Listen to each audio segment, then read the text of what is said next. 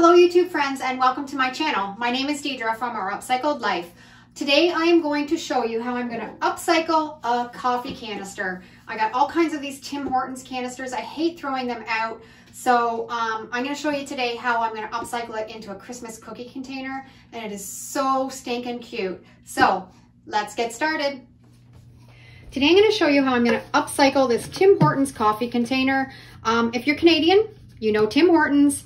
It's uh, very popular here. I have all kinds of these canisters and I hate throwing them out. So I'm going to upcycle this one into a Christmas cookie container. I've got a scrap piece of wood that I'm going to use. I want to make a wooden top for it. Um, so I'm going to take the lid off of the coffee canister, place it on the wood, and then draw the circle into the wood. And then I'm going to take my jigsaw and I'm going to cut that circle out.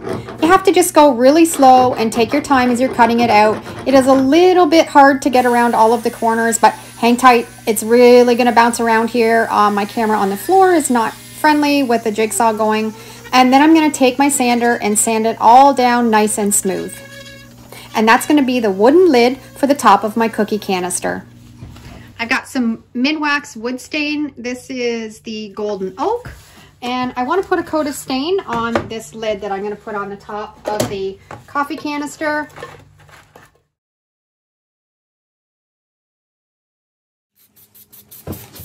I'm then going to take the plastic top and spray paint it with some black. And I'm also going to spray paint the bottom of the canister just with a light coat of the black also. I'm going to let it dry and then I'm going to bring it into my craft room and paint it up. Okay, my top is all dry. The stain is all dry. I want to glue this onto the top of that. I'm going to use my E6000.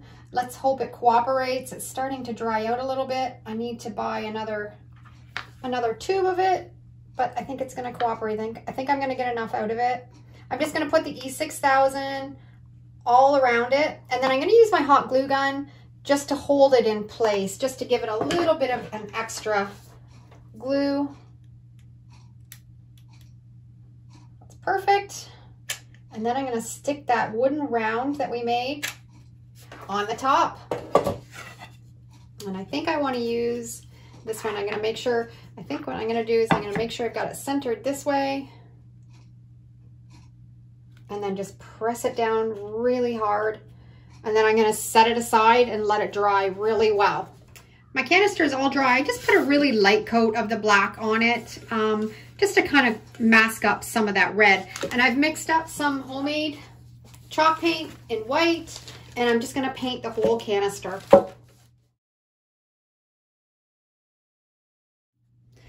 First coat's all dry, and now I'm gonna put on a second coat. Now I'm gonna custom make my own Christmas napkin. Um, this is just a napkin that I had. It's three ply, so I'm gonna take off the two plies so I'm just left with the white sheet on the bottom.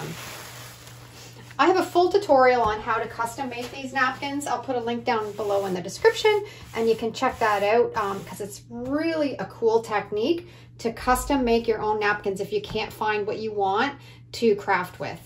The first thing that I want to do is I want to press out all these creases in the napkin. So I've got it down on an ironing pad. Um, I got a piece of parchment paper and lay it on top of that serviette or napkin. And then I'm just going to just iron it. I've got my iron set it on the highest setting with no steam.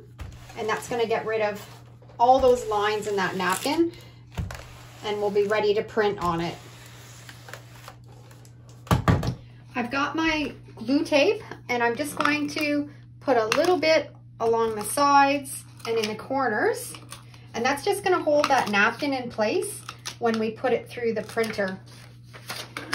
And I'm just gonna take the paper and just center it over the napkin, making sure there's no wrinkles, and then press it right down. And then I'm gonna get my scissors and trim off all the edges, and then it's ready to print on.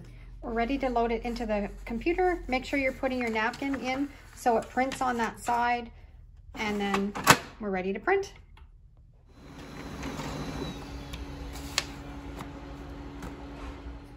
We're gonna do the water transfer method. Um, I printed off on my napkin and I'm just going to trim it off. and cut it almost to the size that we're going to need. And I love using this technique because it blends right into the paint and there's no wait time. You just put it on and it's finished. And we're just gonna take the napkin off that piece of paper. And as you can see, now we've printed our own custom napkins. Now when doing this, I've just got a plastic sleeve and you want to put your graphic facing down. So when you pick it up, you can put it on your project. So we're gonna put it face down.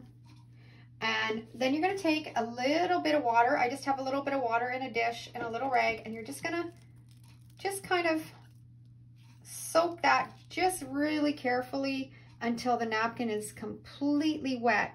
And you're just gonna very carefully get any wrinkles or bubbles out. And that looks pretty good. And then what I like to do, I like to make the edges of the napkin kind of rough. You can use um, a really stiff paintbrush or I found actually if I just use the edge of my scissors, I can just pull away a little bit of that napkin just so when you're putting it on your project, it just kind of blends in better and it doesn't give that straight edged look. And then after you've done that, just take away the paper that you've pulled off and work your way around the graphic.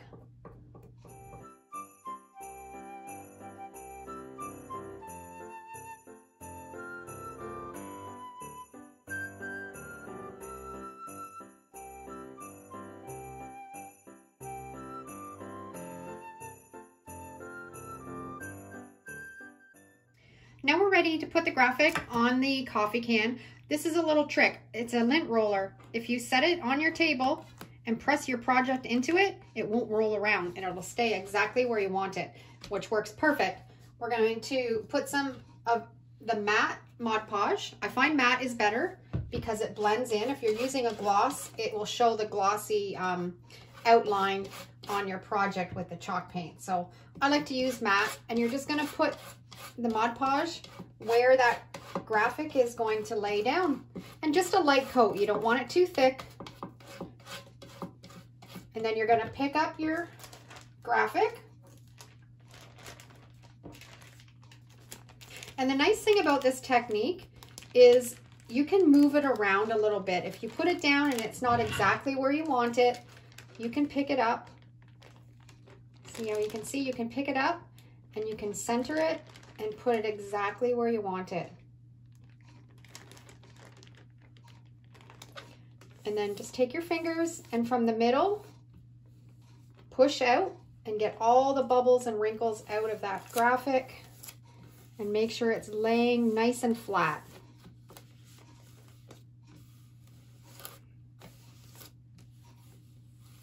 And then once you've got all the bubbles and the wrinkles out, you can just very carefully lift away that plastic sheet and your graphic is on your project.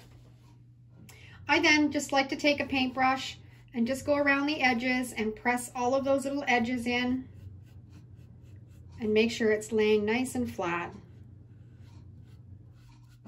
This is such a quick and easy way to do graphics. You don't have to rub anything off. You don't have to um, buy any expensive vinyl. All you need is just a napkin and the bottom sheet of it. Now I printed this off on my LaserJet printer. You can also use an inkjet printer. The LaserJet printer, the ink won't run. If you're using a laser or inkjet, you may have a tendency for your ink to run a little bit. So what I would do was before you put the napkin on your project, I would spray it with a little bit of hairspray to set that ink into it. Let the hairspray dry and then do this process. I've brought the container out into my shed because I want to give it a really good top coat that you can wipe down with a damp cloth. I'm going to use this engine enamel. It works really well and gives it a really hard seal. You can find it at automotive stores. It's on Amazon and you can also, if you're in Canada, find it at Canadian Tire. And it'll just allow you to wipe it down and be a little bit more durable if it's in the kitchen. I've taken a lid from another container and put it on the top because I don't want it to get in the inside. And I'm just gonna give it a couple coats and let it dry. And then it'll be all ready to put the lid on and fill with some cookies. In order to keep the lid a little bit more secure on the um, piece of wood, I've got some little tiny screws and I'm just gonna put a couple, I'm gonna put three in the lid just to keep it uh, in place better for when you're taking the lid on and off. And I'm just gonna screw them right down into the, through the lid into the piece of wood. And it'll just help it from peeling off in case your glue doesn't stay put. I had this old handle in my stash. I think it's gonna work perfect on top of this. And I've got a couple screws and I'm just gonna screw it right into the top of the lid.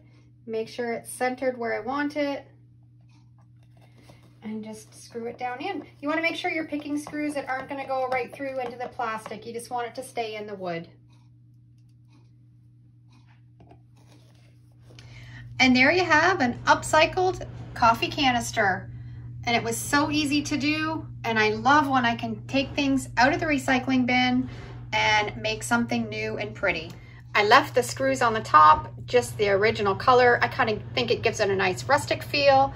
I just used a scrap piece of wood that I stained for the top.